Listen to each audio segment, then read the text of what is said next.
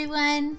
Today I'm going to be making a Winnie the Pooh breastfeeding car seat cover. This is a super super simple project, but the main thing that I really wanted to focus on was working with knit fabric.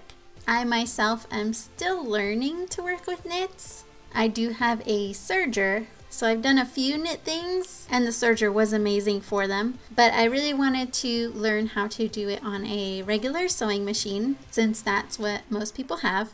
And all you're gonna need is a simple zigzag stitch on your machine. So most basic machines have this stitch. So for this project, the couple of things that you're going to need that are important is Wonder Tape, and mine is 1 4th inches wide. It comes in a variety of sizes. I would get a little bigger one if you could, like a 3 8 or a 5 8 inch width. And you will need a twin needle that is for stretchy fabrics or jersey fabric.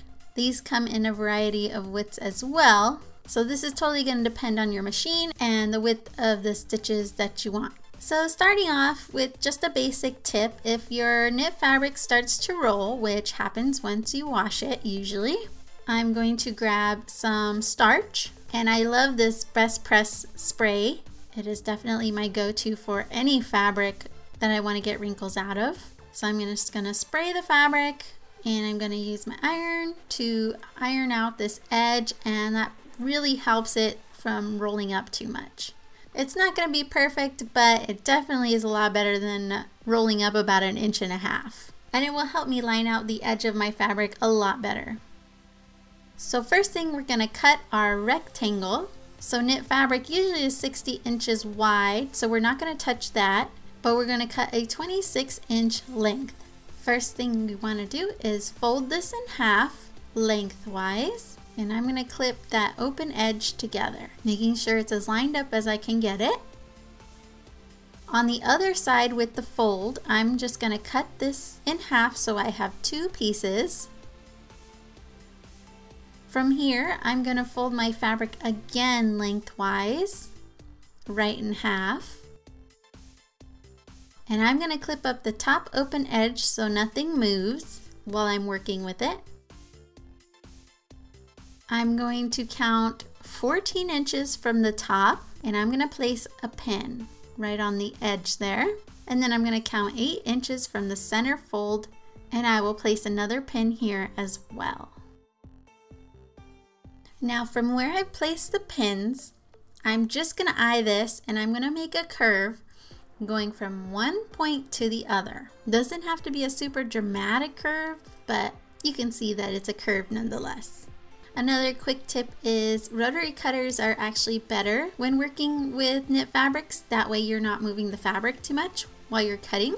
But if you have regular scissors, that's totally fine. But if you definitely plan to work with knit fabrics more often, I would definitely recommend picking up a rotary cutter. It will save you a ton of time and a big headache. I'm to open up these two pieces and on each piece, I'm gonna do a 3 8 inch seam allowance all around the four edges. So first thing I wanna do is I'm gonna remove my regular foot. If this is all you have, that is totally fine, but I have this plastic foot and plastic feet are gonna work the best against the knit fabric to keep it from getting stretched out. And the other alternative, if you have it, is a walking foot, which looks like this crazy thing right here but this is gonna move the fabric while it's sewing a lot better. So that way your fabric's not getting stretched out, which is something you definitely don't want when working with knit fabric. So this is meant to help move the fabric along a lot better. But I'm not gonna use this because most people don't have this one, but I will use my plastic foot. So I'm gonna attach my foot here. Now the settings for my machine originally start at a 5.0 width but I'm going to shorten this a little bit to a 3.0 and I'm just going to start sewing. If you're using a regular one, just make sure that you're sewing very slow. There are also other small tips and tricks like using tissue paper or even adding wonder tape to this, which I will show later on, will help everything sew a lot better with a regular foot. And this is something you're going to need to play around with before you start sewing. Just take a scrap piece of knit fabric, probably what we just cut off, a minute ago and just play with the width of the stitch so you get that nice even stitch without the pucker in the middle. I didn't have to lower it too much so just a small adjustment should be just fine. I'm to grab my Wonder Tape. So you'll see one side is sticky and I'm to stick this down lining up the top edge of the Wonder Tape with the top edge of my zigzag stitch.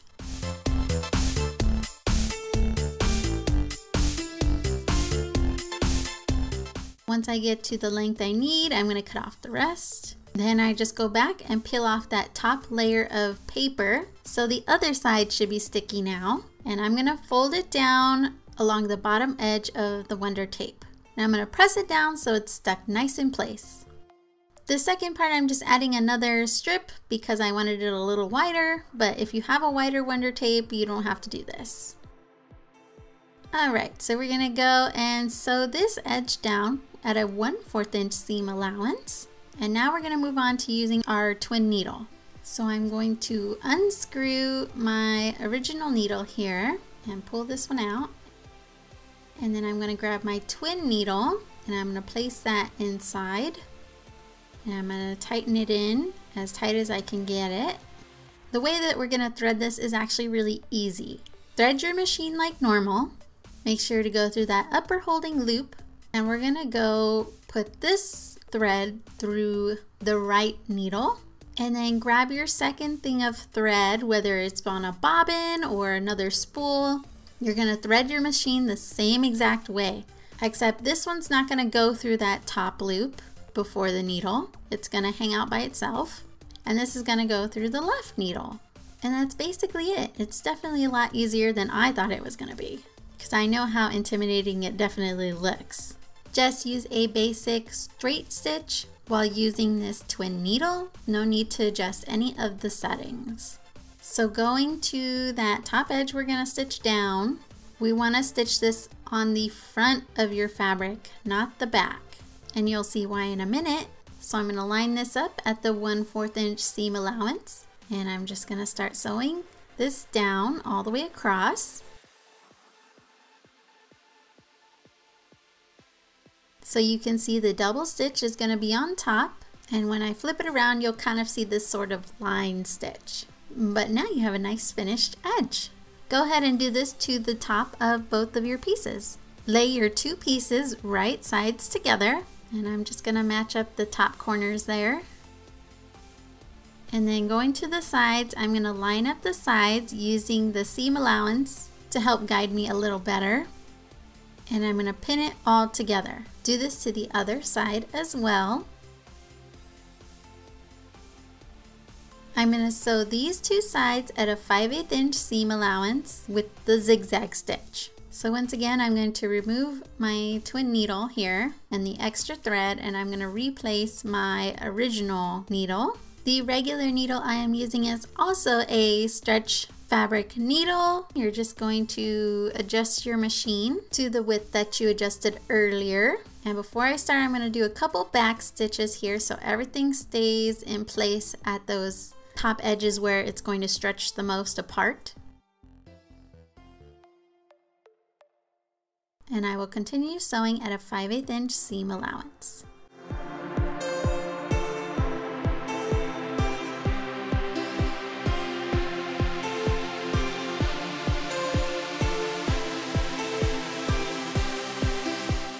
You can see here that I have a nice seam. When I go inside, you can see I've got a nice seam there as well. And the threads poke out just a tiny bit, but it's not a big deal. Going to the bottom edge, we're gonna hem this up. So I'm gonna open up my seam allowance and I'm once again going to grab the Wonder Tape and I'm going to line that top edge of the Wonder Tape with the top edge of my stitch here. And I'm going to do this all the way around, opening up the other seam allowance as well.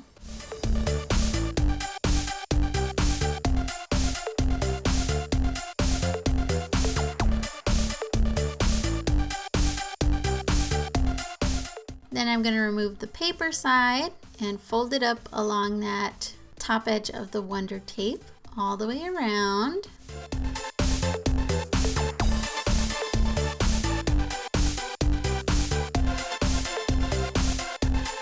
Flip this whole thing right side out because remember that's how we want to sew it.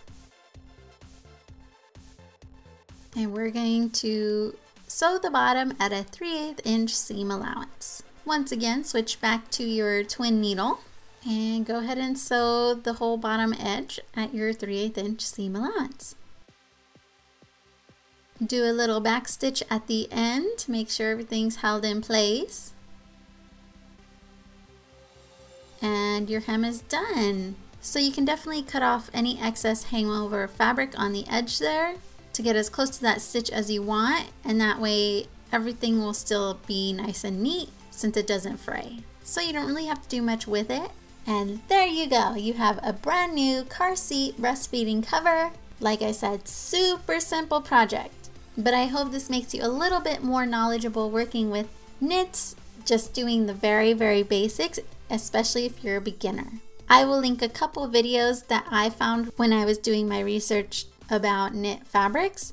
So I think that'll help out a lot. I'll leave those linked down below. If you don't have a baby yet or you're not pregnant, this will make a great baby shower gift. And it's so quick, you can definitely finish this in a couple of hours, if that. I want to thank you guys so much for watching. Please subscribe if you have not already. And I hope to see you all in the next one. Bye!